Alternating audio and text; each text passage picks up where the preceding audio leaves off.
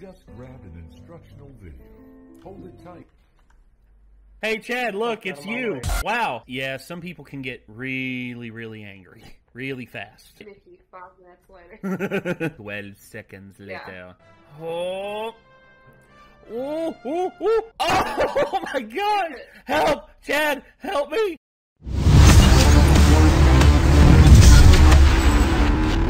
Well, hmm. I'll say this much. This film is beautiful. This film is absolutely gorgeous.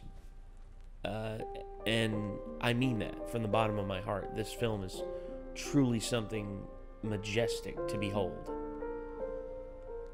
I remember I watched this in theaters. Uh, it was we um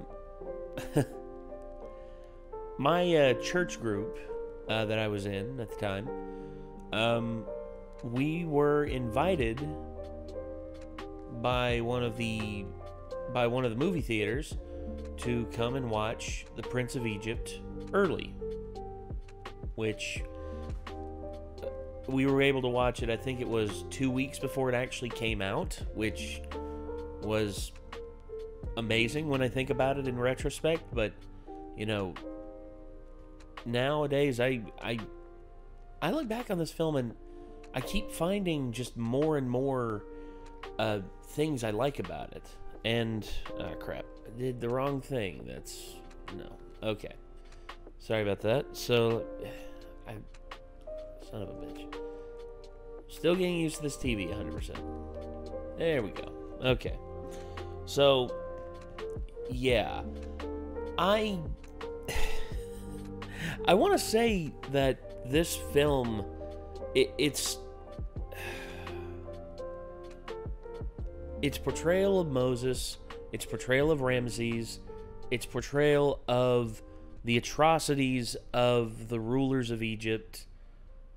It its portrayal and, and here's the thing. Whether you believe in the divine or not, whether you believe in, you know, miracles or happenstance or, you know, again, this is just a film. And I know that there's people who use this film for religious rhetoric and all that, which, you know, that's their business if they want to do that. But at the same time, I mean, philosophically, this film is also very beautiful uh, because it doesn't really take a side, it just is. It portrays Ramses as a human who is in a true position of power. He's the freaking Pharaoh. And his adoptive younger brother, Moses, is supposed to. Like, it, the internal struggle that Ramses goes through. I remember Doug actually, I think, did a. Uh, did a uh, old versus new on this. He did this versus the Ten Commandments, which I think the Prince of Egypt won because of what it was able to portray, which, given what the Ten Commandments was able to portray, was amazing as well, especially for the time. but I gotta say, you gotta get, you can get away with a lot more, well, especially by comparison, you can get away with a lot more in uh, in animated form than you can with uh, than you can with like practical, especially for practical effects back in the 50s, which I think it was 1956. Which, Jesus, that's it's still amazing the stuff they were able to pull off in that film. Um, but the Prince of Egypt, I remember Doug talking about that a long time ago, and yeah, I just figured, what the hell, I'd give this a watch and see what uh, see what Doug has to say about it. So I guess without further ado, this is uh, the Nostalgia Critic, the Prince of Egypt review, and we're gonna watch it and see what Doug thinks. Here we go. This episode brought to you by Full Sail University. Immerse yourself in the world of filmmaking from every angle. Also brought to you by DoorDash, the app that brings you food you're craving right now, right to your door. Okay.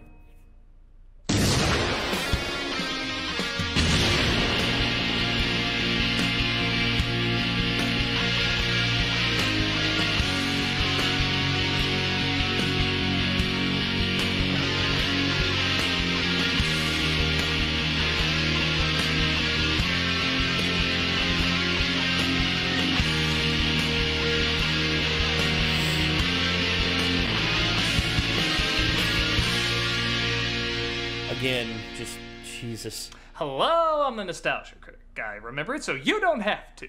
There's been a lot of movies that changed the way we look at epics.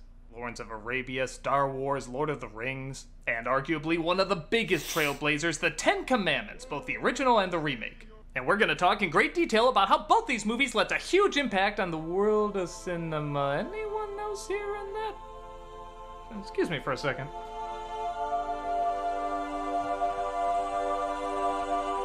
Oh God. I was going to say the only thing that would make this part better is if Val Kilmer were to do the voiceover for this, but I don't think Val Kilmer can really do any voiceovers of anything anymore. I mean, throat cancer. You know how it is. Critic, take your shoes from your feet. Fuck you, Quinn. Seriously, you're tracking mud over holy ground. Dude, this is the internet. Feet are like unobtainium here. Okay, fine. Just answer me this. Why have you abandoned me? Abandon you? You're the Prince of Egypt. You're like the anime film I watched the most when I was a teen. Yet you're talking about Ten Commandments. Well, not like you more, but Ten Commandments left a bigger impact on cinema. And I didn't? No. No. You were a hand drawn film at a time when CG was Beyonceing from Destiny's Child. So that means I matter less. No. I mean, yes. I mean, I don't know. How many people In terms of the context Ten of this video, Commandments? A lot. And how many people praise Prince of Egypt? A few. You never talk about me anymore. I used to be the most beautiful animated film you ever saw. Now it's all Into the Spider Verse and Lego Movie and Kung Fu Panther. Panda. I know what I said. Clearly don't. Into the Spider Verse is is also freaking gorgeous, but I would also say Lego Verse, How to Train Your Dragon as well. I would say the the entire trilogy, it's it's up there as well. But yeah, I- I just want you to look at me with the awe you had when you first saw me. Look, an anime Blu ray who obtained speech, you may be right. Maybe not enough people talk about how impressive you were, even two decades later. Well, too little too late. Look, polish your disc, upgrade your cover art, because I'm gonna treat you like royalty. You really mean it? Absolutely, I have taken you for granted. It's about time everybody sees you for the true prince that you are. Oh my god! I can't wait to tell all my book club. Hey, guess what underrated animated film might get a resurgence? Eh. oh god, Well, it is underrated. it is, it is. I mean, it's a great great film. Released in 1998, Prince of Egypt was one of the last major hand drawn animated films that turned in a decent profit at the time. Uh, that wasn't Disney. Serving as one of the first major releases from then new studio, DreamWorks. This was their attempt to show they could play with the big boys and turn in something as massive as Disney. and to put it bluntly, there, this was my Lion King.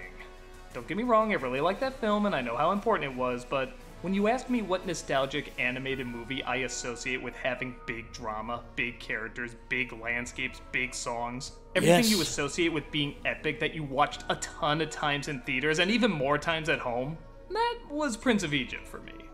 I loved the beautiful artistry, layered acting, visual storytelling, and complex emotions. Though it did fine when it came out, I think a lot of people still associate it with, well, kid stuff. And truth be told, Yeah. you can see why. It is still a musical like many kids' films, hand drawn like many kids' films, has comic relief like many kids' films, and yes, was marketed as a kids' film. Next week only, you can get a free beanbag camel toy. My favorite part was the baby in the water. Mommy's cute. The baby in the water that she knows no context of because she's a freaking kid.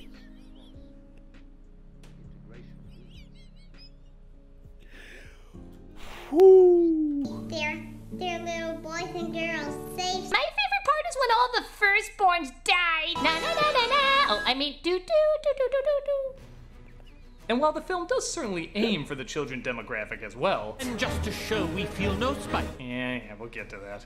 The Yeah. clever ways it utilizes its medium to tell its story is still awe-inspiring. Yes. Just because it's a musical doesn't mean it's not a great musical. Just because it's hand drawn doesn't mean it's not spectacularly hand drawn. And even with state of the art technology at the time, the movie still utilizes a lot of classic film storytelling techniques.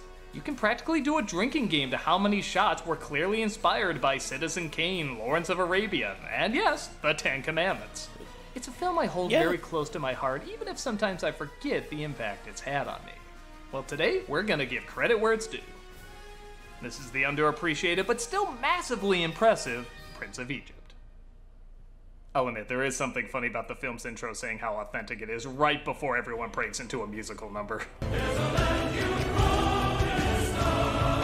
Again, you can see how some people would have a problem getting a grasp on this film. Yeah. Have everything nice. The songs are by Stephen Schwartz and orchestrated by Hans Zimmer. I guess a lot of folks wanted to see Elton John and Tim Rice back like they did with Lion King, but Schwartz's songs are pretty damn epic. Yeah. And Hans Zimmer's compositions are beautiful. Honestly, I'm just not sure how the John and Rice combo would work here. It's tough to be of God, but if you get the people's nod. Wow. 98? Is that back when PG still meant something? Oh, yeah, they mean business. Yeah, this isn't like Onward's PG with oh, No. oh no thematic elements. This is the Addams Family Girl Scout cookie joke replaced with baby food. You actually need parental guidance in this film that recommends parental guidance. Hush now, my baby. Fearing her baby will be next, a mother puts her son in a basket hoping he'll survive the dangerous waters. You can actually do a bookend count. There's so many clever callbacks in this film, but we'll get to those when we get to those. Yeah, okay. Well, God's not answering that prayer. Yeah, God's not really known for giving his chosen ones the fluffiest of lives. This is true. I mean, He's washed away to the queen who comes across the baby in her pond. penitence. Oh. Sarah, tell the soldiers they missed one. the baby is named Moses, and he grows up into a young prince played by Val Kilmer, with his brother Ramesses played by Ralph Fiennes. This is a star-studded cast with none of them Egyptian. Shame. I wanted to enjoy this too.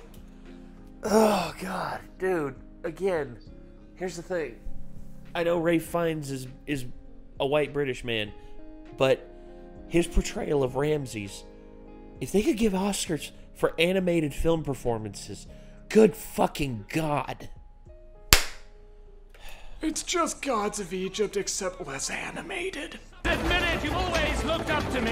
Yes, but it's not much of a view. So, while humor is certainly a needed levity in a film like this, and it helps hook younger viewers in as well, how did Ray Romano put it? It's not really about the kids.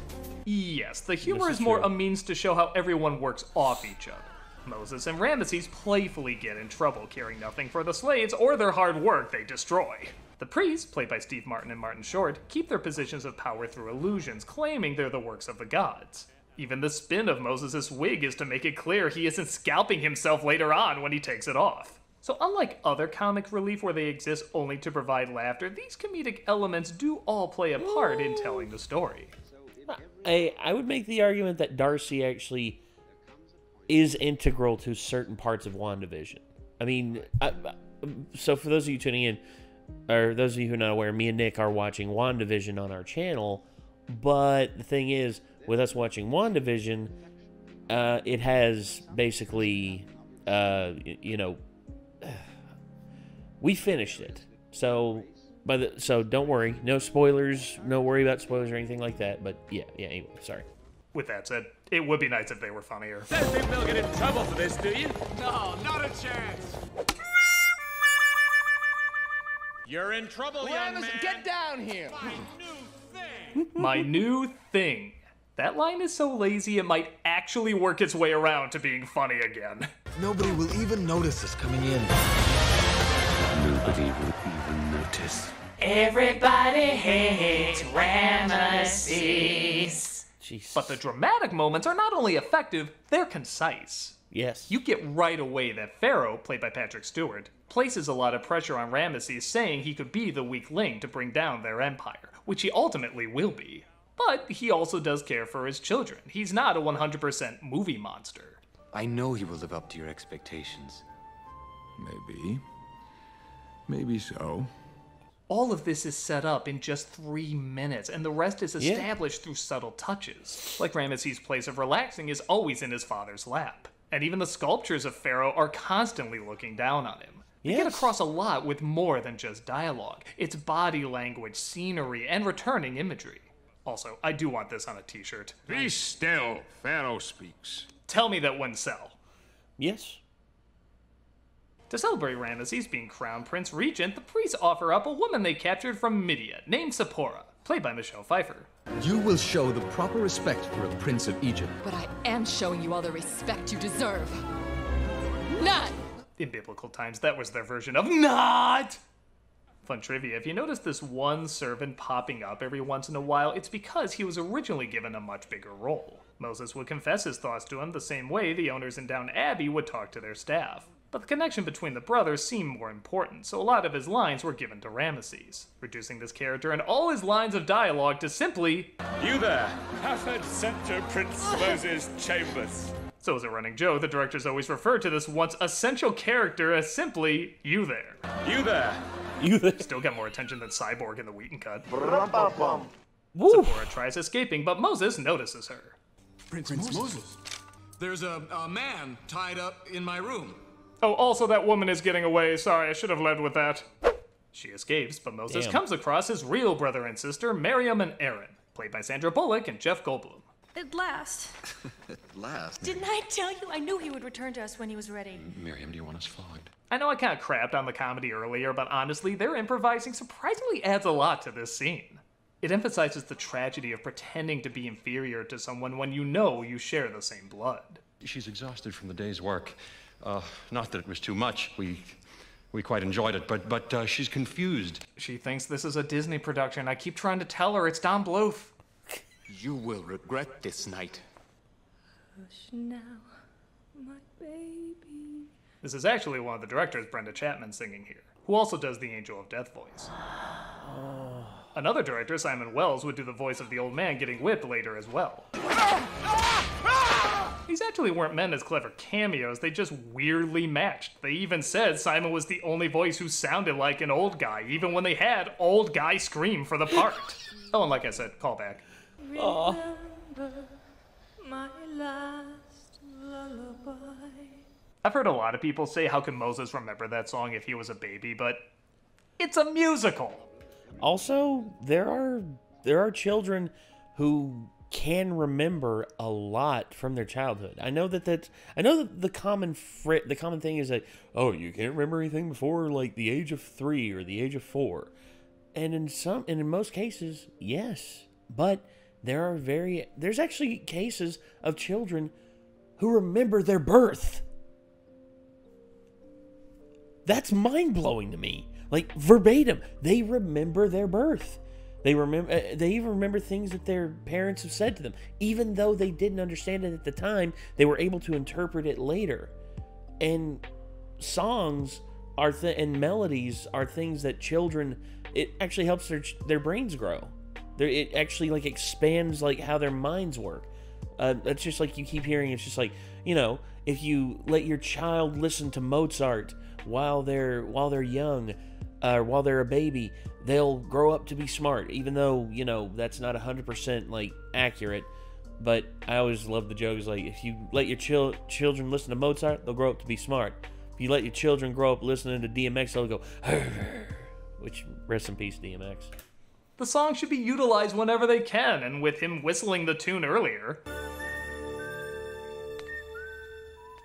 I think it's a clever way to show we figured it out. Speaking of which, it's time for the Nuh-uh song. This is my home, and if anybody doubts it, they Aw. couldn't be more wrong. Denial. It isn't just a river in Egypt. Whoa, someone cut the budget in half. The sequence is a clever way to establish that Moses is dreaming, as a lot of directors of anime films have said that's very difficult to get across sometimes. Personally, this is just what I dream when I combine Chipotle with Link Between Worlds at night. He envisions himself being tossed with the other babies, another really great metaphor, when he searches the temples and discovers the awful truth. It was true. I really should have painted over that. They might have risen against us. Sacrifices must be made. Again, the film is really good at making Pharaoh seem human, but not too sympathetic. Oh, my son, They were only slaves. It's not like I took away your TikTok account. oh god. okay, so again, I think it, it's one part Patrick Stewart, but it's also one big thing with like with portrayal of of characters.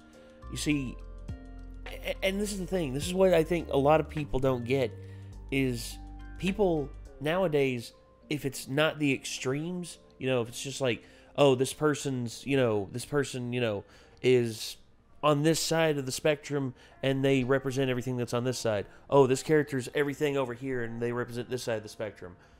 It's absolutely impossible for most people for most like consumers nowadays to comprehend. Oh yeah, there's a middle ground and it's actually pretty vast, but no one wants to admit it. No one wants to admit that the middle of the road exists, which hello, I'm here and in all honesty, if you call me a, a, a middle of the road party here, motor M O T R, and uh, if you call me a fence sitter, sit on it and rotate. Is that still a thing, TikTok? I'm not on top of what the kids are into, but maybe It it's is. because I slaughter them. Oh. After having a nice talk with his mother, played by Helen Mirren, he looks at the treatment of his people differently. Fate has turned our little misadventure into a great opportunity. I'll admit I love that they used the nose knocked over earlier as a viewing point, and it'll be a great addition to Egyptian Double Dare. Oh. Leave that man alone! What's happening under my nose? He accidentally kills one of the soldiers and runs away, leading to one of the most telling lines from Ramesses. You saw what happened. I just killed a man. We can take care of that. He was so unfazed by that, it makes you wonder how many people died and they just swept it under the sand. Was there like a housemaid under that nose? It wouldn't surprise me. Moses? The animation when Moses realizes not only what he's leaving behind, but who he's leaving behind is perfectly heartbreaking. The expressions in this film really are some of the best in hand drawn animation. Yes. The same can be said for the transitions. If you watch Moses' descent into the desert, you'll notice he dissolves from left to right, getting smaller and smaller. This isn't just done to show off, though. Him getting smaller and the background getting bigger shows how more and more lost he's becoming, and how the brutality of the desert is slowly claiming his life, which a sandstorm almost does. Timon, you better come look! I think it's still alive! Again, really glad Schwartz did the songs on this one. Yeah. Yeah. They're, they're trying to be more serious with this instead of being like playful and kid friendly, even though the marketing tried to make it a kids film and certain things. How do you do, fellow kids. kids? As a college student just like yourselves, I think about school, specifically getting in the film industry. Working in the film industry is an exciting and rewarding experience. If you know you want to be a part of it but don't know where to begin, just check out Full Sail University.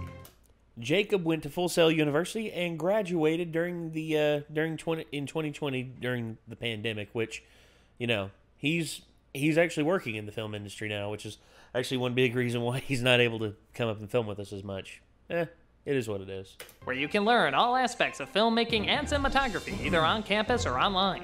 It's like playing that Tendo system we kids are all fond of. But let's get serious. Full Sail's Film Bachelor's Degree program immerses you in the world of filmmaking from every angle. You'll gain hands on experience while learning what it's like to work on a large scale production from start to finish, giving you a feel for the role each crew member plays and allowing you to specialize in the ones where your strengths and interests lie. Phones. That's a thing we kids like, right? But let's get serious. The Digital Cinematography Online Bachelor's Degree program merges the artistic concepts of traditional filmmaking with the technical tools used in everything from documentary filmmaking to commercial production and web video, preparing you to be a jack of all trades in small crew productions. But don't take my word for it. What am I talking about? Yeah, take my word for it. These degrees are offered in an accelerated format to get you into the field faster. With hands on projects, industry experienced faculty, and professional equipment and sets, you'll be prepared to pursue your passion. Full Sail grads have gone on to work on some pretty incredible films and TV shows like Godzilla vs. Kong, The Falcon and Winter Soldier, and The Mandalorian, just to name a few. And they're regularly a part of Emmy and Oscar nominated projects. Unfortunately, they don't have a class on hoverboarding yet. But let's get serious. If you But want to find out more about these They programs and how to get started, visit fullsail.edu slash nostalgia critic. That's fullsail.edu slash nostalgia critic. I'll see you there, fellow kids.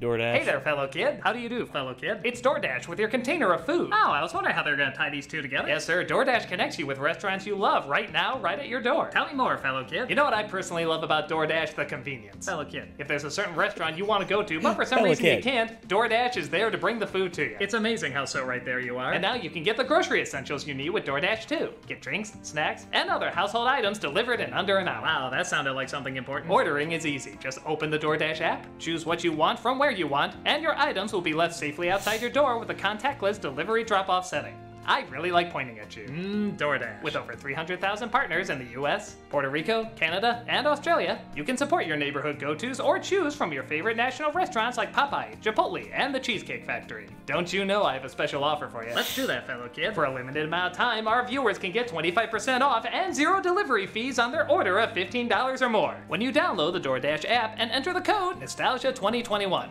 That's 25% off and up to $10 value and zero delivery fees on your first order when you download the DoorDash app in the App Store and enter the code Nostalgia2021. Well, thank you for my jar of food, fellow kid. Indeed. Would you like to go hoverboarding? No. Don't forget, that's code Heartbreak. Nostalgia2021 for 25% off your first order with DoorDash.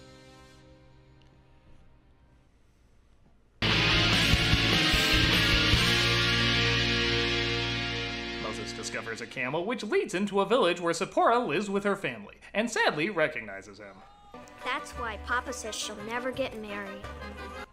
There is a funny line here and there. Oh yeah. Ladies, you've cleaned every inch of me. Whoa! I, I was wrong. Maybe two.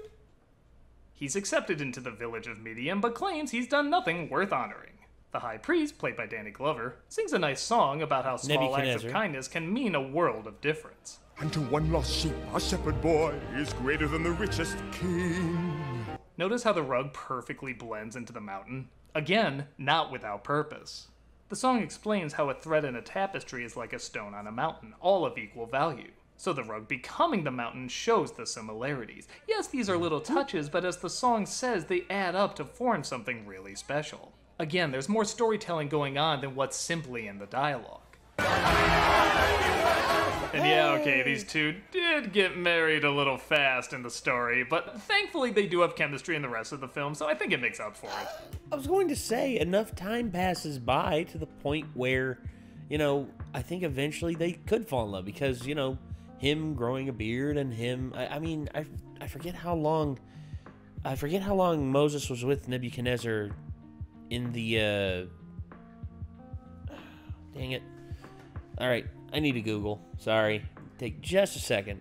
Eventually. Oh, Jethro. Sorry, not Jet, not Nebuchadnezzar. Damn it! Why, why is my brain like? uh, I'm sorry, y'all. It is currently 5:04 in the fucking morning. I'm sorry. I am very tired. It's been a very long weekend. Ugh.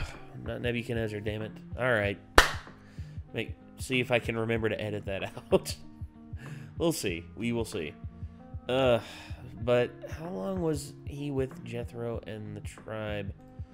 It uh, in Exodus, uh, Jethro's daughter Zipporah, Moses' wife Moses fled Egypt. When did Moses flee Egypt?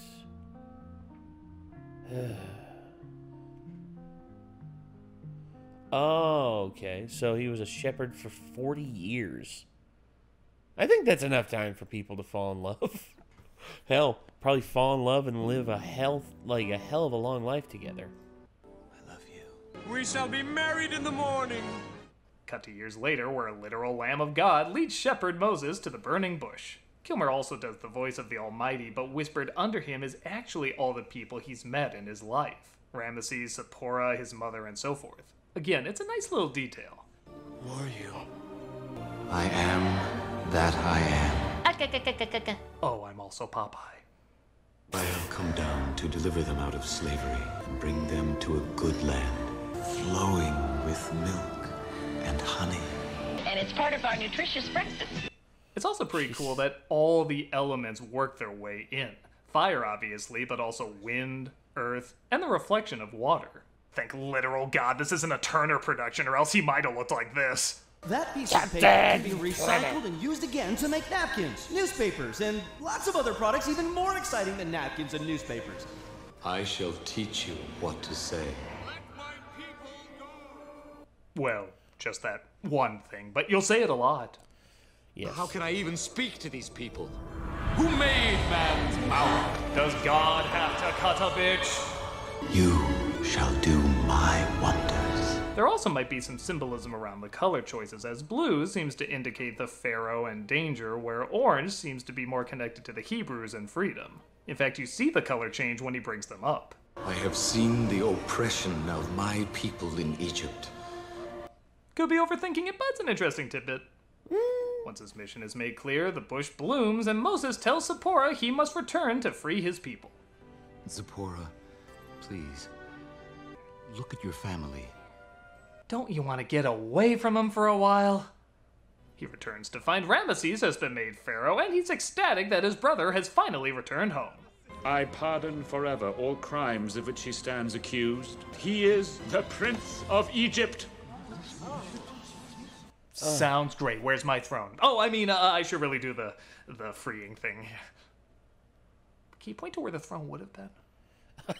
Though it breaks his heart, Moses admits to Ramesses that he's there to free his people and uses God's power to turn his staff into a snake. Oh, uh, impressive. Hmm. The priests, however, show Yeah, off their illusions, giving the impression that their gods are stronger. Anubis, Sec.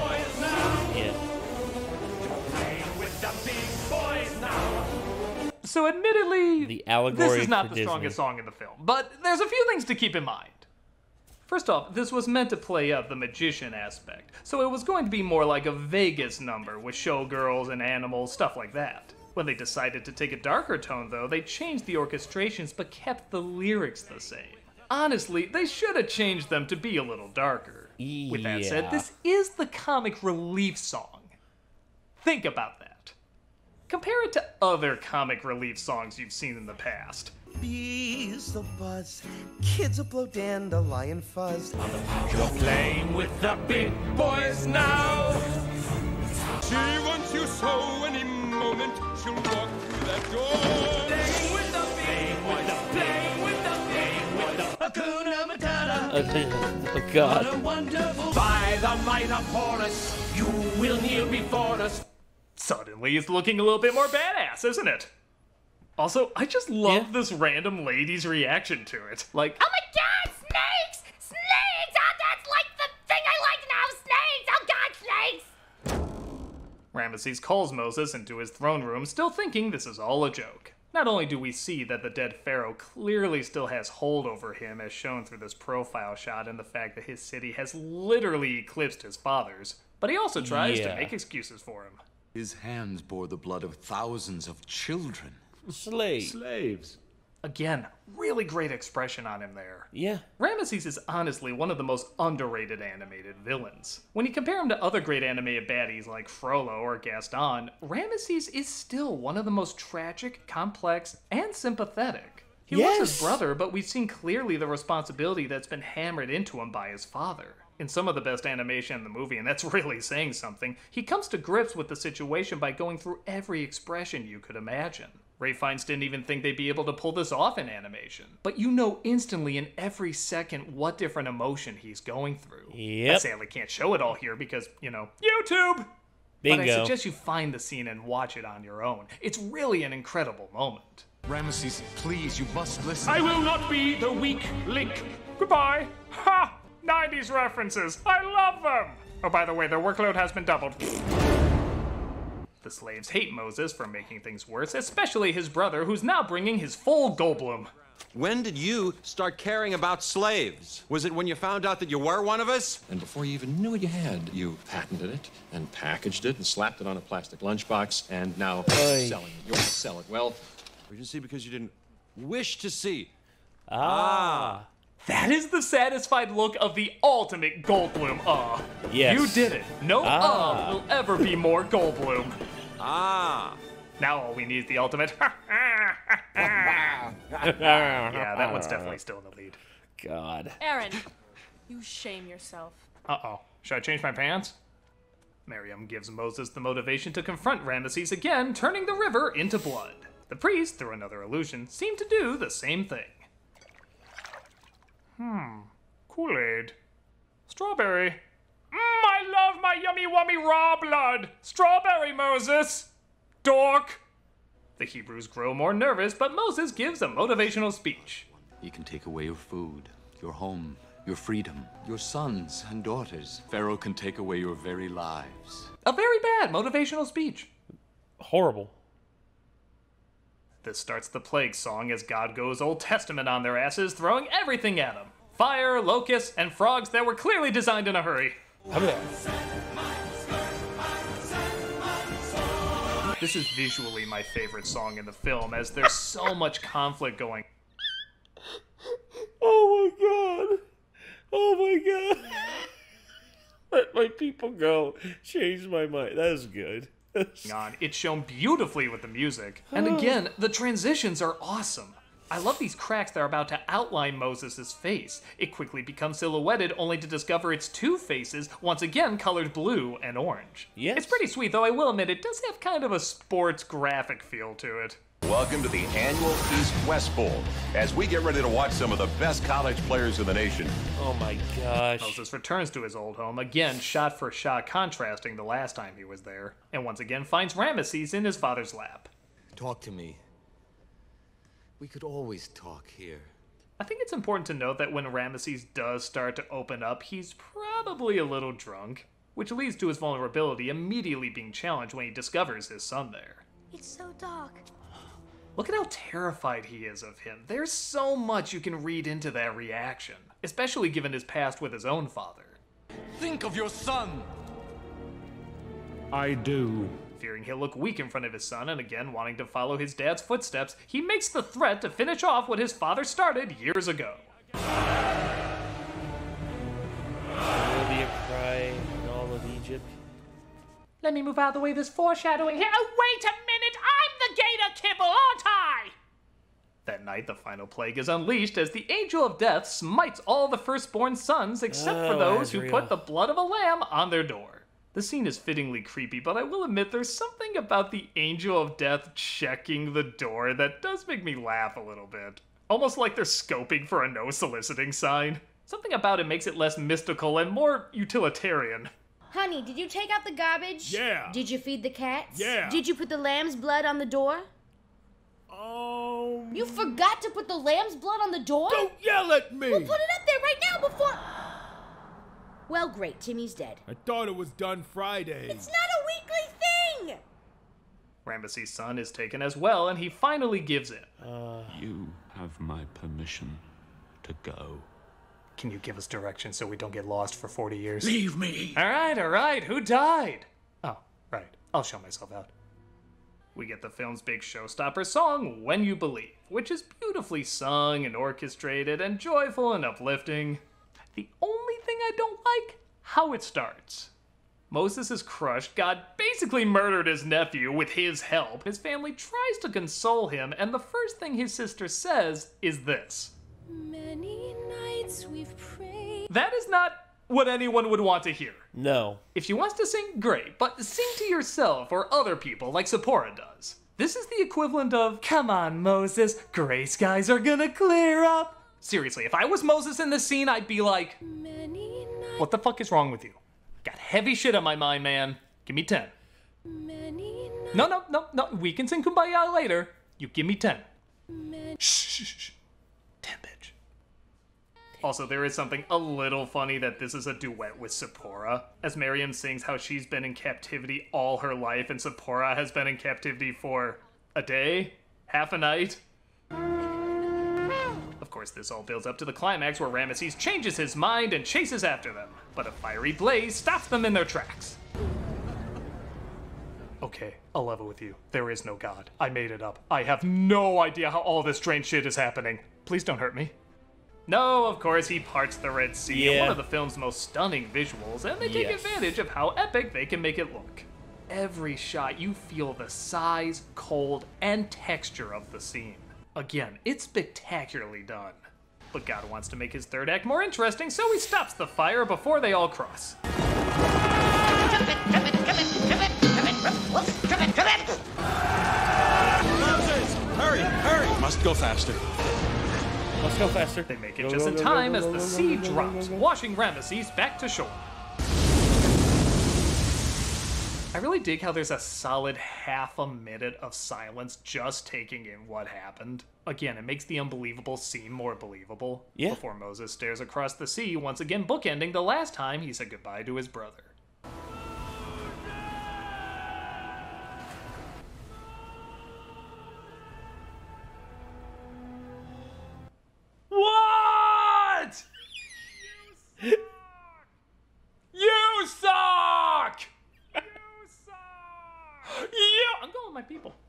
Yeah. Cut to Moses with Bye. the Ten Commandments. I'll just assume the rest of the happy ending is in the Snyder Cut. And we wrap up, in my opinion,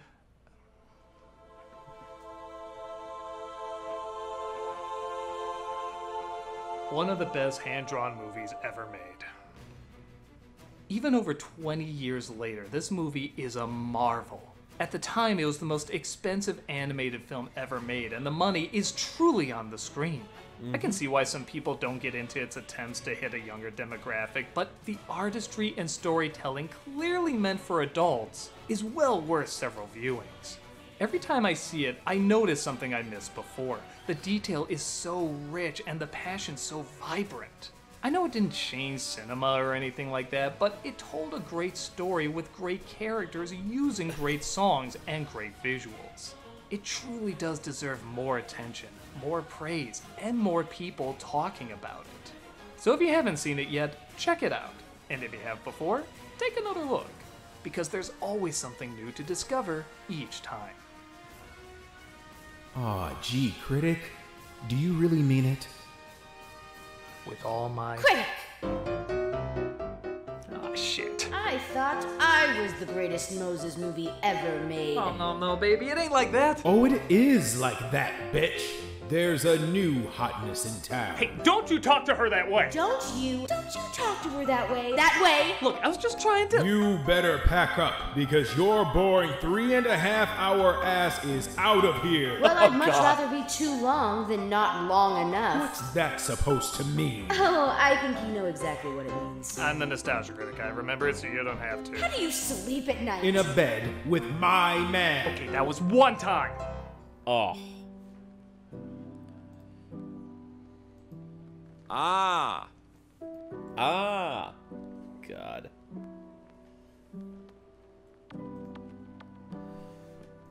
So yeah, that was the Prince of Egypt, and yeah, I gotta be honest, it is still a spellbinding film, even all these years later.